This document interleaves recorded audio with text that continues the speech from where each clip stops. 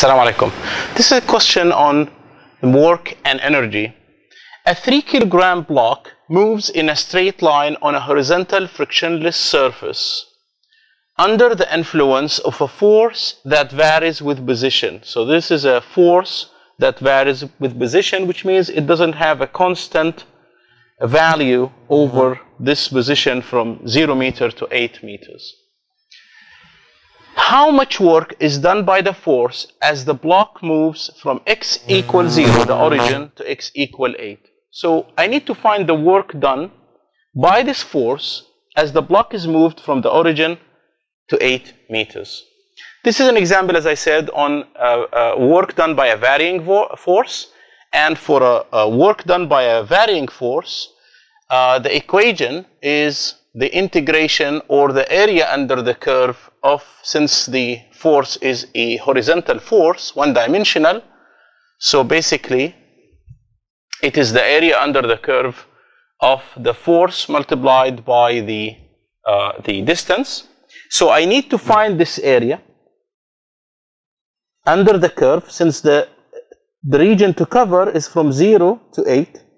And I should put in mind that this area, because it's Uh, uh, lower than the reference where the zero force is 0, then this, this area is a negative area. Clearly is shown from multiplying this by the x by y. So as a result, I need to, to simplify my problem, I will divide those areas into 1, 2, and 3. So I have area 1, 2, 3.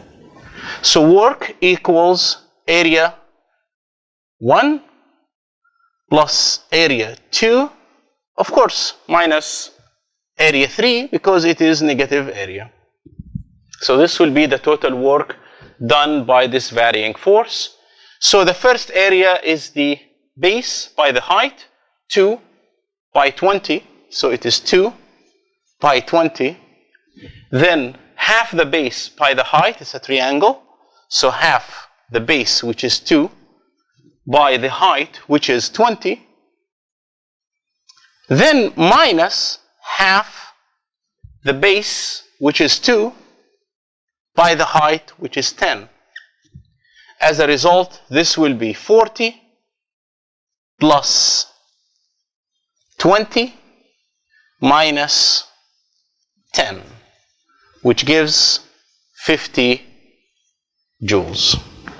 Thank you. Assalamu alaikum. This question on work and energy. A block of mass 10 kilogram moves at a constant speed of 25 meters per second on a frictionless horizontal surface.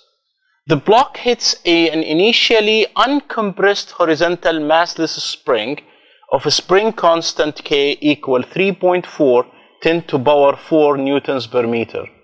With one end of the spring fixed to a rigid wall, find the maximum compression of the spring. We can make a, a simple drawing of the question by showing a surface that's frictionless and then we have this spring uncompressed initially and then attached to the wall and then we can show this mass or object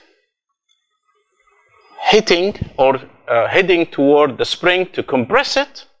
And afterwards this mass will start from V initial which is 25 meters per second. The mass is 10 kilogram. And the, the co uh, constant of the spring or spring constant Hooke's constant is K equal 3.4 10 to power 4 newtons per meter and the, the, uh, the mass will compress the spring and then stand still. So we need to find the distance from the initial position, the distance of compression of the spring. To find the distance of, comp of compression, clearly this is a, a work or energy problem with all forces conservative. There is no work of friction here. So all the forces here are conservative which means the change in the mechanical energy of the mass should equal zero. As a result, this change in mechanical energy is due to change in kinetic energy plus change in potential energy should equal zero. So it is K final minus K initial, final kinetic energy minus initial kinetic energy, plus U final minus U initial should equal zero. So this is the potential energy of the spring, which is half kx squared. This is the kinetic energy half mv squared. K final should be zero because at the final uh, position, the, the mass will, will stop, stand still. So minus half m v initial squared, which is 25 meters per second, plus u final is half k x squared, where u initial should equal to 0 as the distance of compression initially equals 0, and this should equal 0. I can arrange this equation. I can actually also cancel out this 2, that it's in all terms. So as a result, I need to find x. So k x squared should equal m v initial squared. So x will equal m v initial squared divided by k. And this should equal the mass of course square root. Square root, the mass is 10 kilograms and V initial is a 25 squared divided by K which is a 3.4 10 to power 4 and this should equal 0.428 met meters. So this is the distance of horizontal compression of the spring. Thank you. Assalamu alaikum. This question is on work and energy. A block of mass 2 kilogram is thrown vertically down from height h equal 30 centimeters with an initial speed v initial onto a spring of a spring constant k 2200 newtons per meter. If the maximum compression of the spring is 15 centimeters, find the initial speed of the block. So clearly as this mass of 2 kilograms is thrown vertically down with a certain velocity that I need to find V initial, will hit this uh, uncompressed spring, it will cause some compression.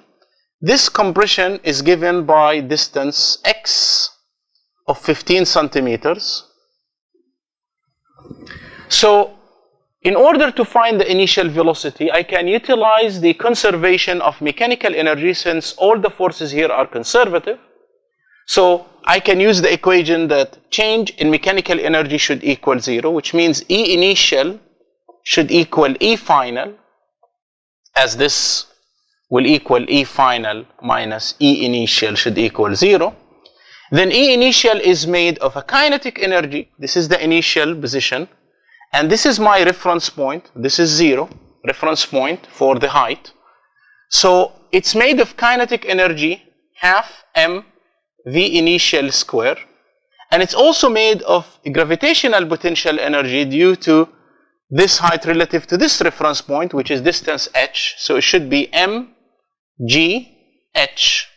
This should equal the final energy will be compressing the energy, potential energy of compressing the spring which is half k x square minus, since it's below the reference point, minus mgx. So this is the height of compression, distance of compression below the reference point. So I need to substitute for a negative sign.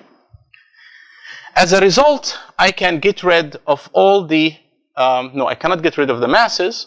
So I need just to rearrange my equation. I can put this with move this term here, so it will yield half mv initial square plus mg h plus x should equal half k x square. Remember that I need to find v initial.